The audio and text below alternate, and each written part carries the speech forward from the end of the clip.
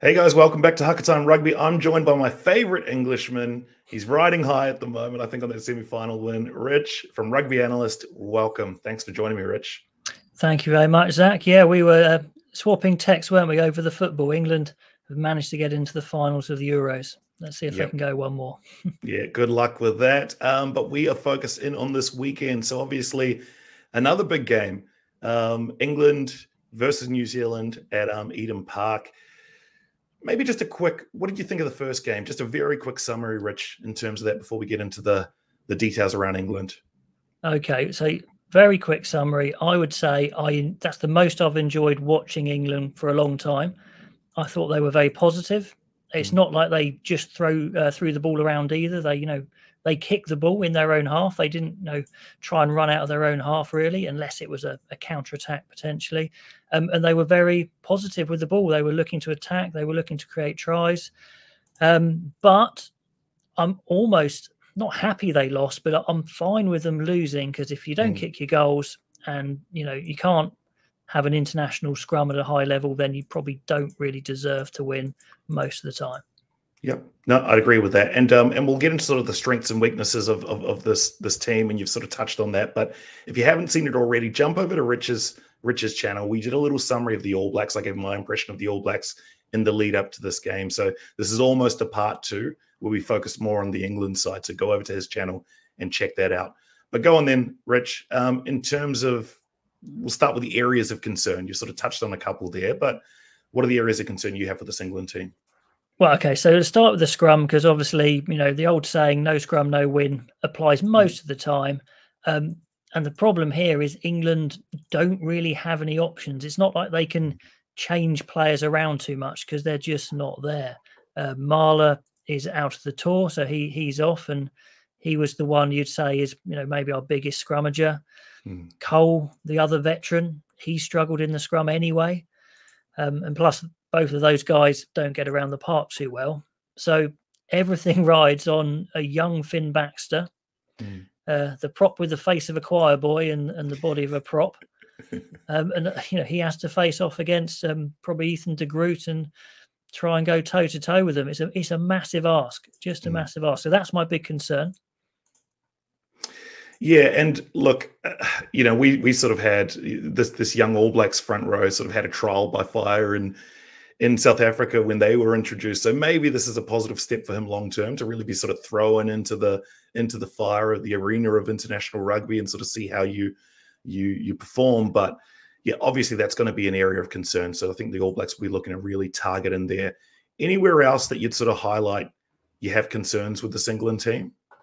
Um, well, goal kicking, but I think um, Marcus Smith he, he had an off day. He is a better mm. kicker than that normally. I wouldn't say it's his massive strength kicking um, or distance kicking or anything like that, but you know he is a better kicker than that. I think there were plenty of commenters who said that it's a tricky stadium to kick in. Is is that something that you think is true? Uh, I think it. I think it is true. Although you know, I think it's um, it, it can be because it, the crowd's sort of right on top of you in that stadium. It's a smaller sort of stadium, a bit, so it can be a little bit more confronting, I guess. But at this level, you expect those kicks to go through. You know, both yeah. sides. Yeah, no, I mean, I'm pretty happy actually with most other places. We're very mm. light for depth in the centre. That's a concern. Lawrence and Slade seem to be getting a nice combo, but Lawrence is he's a 13 who's doing, you know, learning his trade at 12, and, and that was a mm. big step up against the All Blacks. So probably one of his best, if not his best game, actually for England, which we needed. And Slade's, you know, doing his best on the rush defence, but he's not a monster hitter. He's not a a lightning quick runner. So, and then beyond that, we're really struggling. So, very light there. You said you were light in the second row in the All Blacks. We're very light in the centre. Mm, yep. All right, let's talk about some strengths then. So, where do you see the strengths of this team? Okay, well, back row's looking really balanced, looking mm. really nice. You know, Cunningham South, who is the find. Yeah. Uh, he is a real specimen, big, tall, good in the line out, hits like a train, carries like a train. You know, proper six, um, still very young. Then Underhill is you know, a tackling monster, an absolute hmm. beast, and then Earl's your explosive guy. So it's a nice combo. That's really good. Um, Tom Curry probably hasn't hit the ground running yet. They're trying him again. I wondered if they'd go somewhere else, maybe to his brother. But um, that's a bit of a concern because when he came on, actually, um, we dropped. We definitely missed that massive carrying of mm. Cunningham South. Um, and then just the other big positive is in the intent, the attacking intent's there.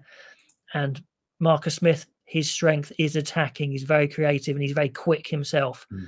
So you've got that danger. And then the back three is a quick back three, which has been transformed by a wing commander, George Furbank, yep. um, just completely changing his his form really from when he first played for England. He now hits hard.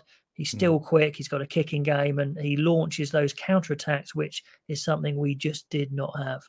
Yeah, I thought he had a fantastic game. Couple of plays you mentioned there, I thought went really, really well. So, Cunningham South. One question I wanted to ask you though, he seemed to when he was taken off. I was quite surprised by that because I thought he was having a great game. Probably there was no obvious signs of fatigue to me. But what did you make of that sort of tactical substitution at that point?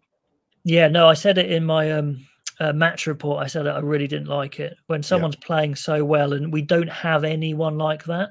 Mm. Um, unless you're going to replace him by Dombrandt, I guess, who's our closest big ball carrier, but not really. So you're kind of taking away your big ball carrier. And I, I think it was just they wanted to get Tom Curry on and they were hoping he was going to be Tom Curry levels of the past. Mm. Um, and unfortunately, I think the first thing he did was give away a penalty, and then he never really quite got into the game. So yeah. I think they were just hoping Tom Curry was going to be superstar Tom Curry from the past, and maybe that's wishful thinking, considering he's mm. just come back from a big operation. Yep, yep. And you know, I think there's going to be a real where I'm really concerned, and I mentioned this in, in my preview of the All Blacks with you, that I'm really concerned at nine and I'm somewhat concerned at 10. And that sort of combination for the All Blacks, I'm just, I've got some hesitant, hesitancy over because even though Damian McKenzie is, is, is nearing in on 50 test matches, not a lot of those have been done as a starting 10 in big international games. Also, Finlay Christie against Alex Mitchell. And I thought Alex Mitchell was outstanding in that first game. So what do you think of your sort of opportunities there at 9 10, the, the potential battle between Mitchell and Finlay Christie as well? Yeah, Mitchell's had two really good games in a row. He he's not hasn't been completely consistent for England. He does have some off games. Sometimes his kicking's a bit off. Sometimes he can be a bit hesitant. But when he's confident like that, you know, he he's a class act. He really does have it all. He's he's got a good kick. He's got a fantastic break on him. He's not a small guy either. Um, the problem for that was when he went off, Spencer, Ben Spencer came on, who mm. has been great in the Premiership, but literally did absolutely nothing, just literally stood around. Like it was, I don't know what was going on there. Um, and we could, we've got Randall as well, Harry Randall, who is incredibly quick and good to the breakdown, but has um, not a very good box kick. Mm. So beyond Mitchell is a little bit of a worry potentially. Yeah. So would you like to see um, you know, them persevere a little bit with the likes of Cunningham South and Mitchell and play for longer minutes. I think that oh, seems yeah. to be an important, important sort of option for them. Yeah, um, yeah. If they're fit enough, I think Mitchell should play for the full 80. Um, yeah. I don't see any reason taking him off, to be honest. And Cunningham South just go as long as he want, uh, as long as he can, really, because I, I think he is he is that good and he will be getting better. Yep. And then obviously, I thought Maro Itoje was was outstanding. I mean, have those kind of performance been somewhat hidden from him recently, or is that sort of he's already, always sort of played at that level? Because I have noticed sort of a small drop. Maybe this was sort of more the Eddie Jones sort of era um, version of Itoje, but um, you know he was outstanding that first game. And what did you think of his performance and Martin? Yeah, really like that second row combo. It's mm. big, mm. it's bulky. Uh, Itoje's not quite as quick as he used to be, and he has had some dips in form, but he was at his best against New Zealand. I think he was he was just so up for that game. He's played a lot of rugby. I don't. There was something going around before the tour saying he's actually over his limits. So there's mm. there's a kind of an agreement of player welfare, yeah, which isn't a law. It's not a rule as such. It's just an agreement, and I, I think he was over it. But if mm. you can justify it in some way, like a longer rest, you can break it. And and uh, you know, the minutes he had left was kind of like a game and a bit, maybe. So mm. clearly that one's been screwed up and thrown out the window. but um, Martin, Martin is just a big boy. He's only, you know, in his early twenties. He's yep. going to get better. He's that big, nasty, counter rucking, big hitting, mauling type second row. Like him a lot. Awesome. So a lot of strengths, a few areas of concern. We've sort of contrasted both teams now on uh, on both channels. Uh, go on then, give me your prediction. Who's gonna Who's gonna take it? Okay, if England can hold that scrum and not leak penalties, then they can definitely win. They can definitely win. History says they won't. Of course, thirty years at Eden Park says they won't. But that my my head says they're going to lose because they're not going to win that physical battle in the front row. Mm. Um, and the All Blacks have had another game together, so they should be better. But um, it's I don't think it's it's obviously early days, but you know, like you said, Christie at nine is probably the weakest scrum half I've seen for the All Blacks, yep. probably ever, um, which is really harsh, but I think that's true. Mm. Yep. Um, McKenzie's still finding his way, and uh, we've we've got some genuine special players here, and they're playing a positive brand. So I think they're they're underdogs, but they've definitely got a chance. Well, how about you give us this one this weekend, and you can take the uh, the Euro final on uh, on Sunday, Monday. Uh, don't know about that. Don't know about that.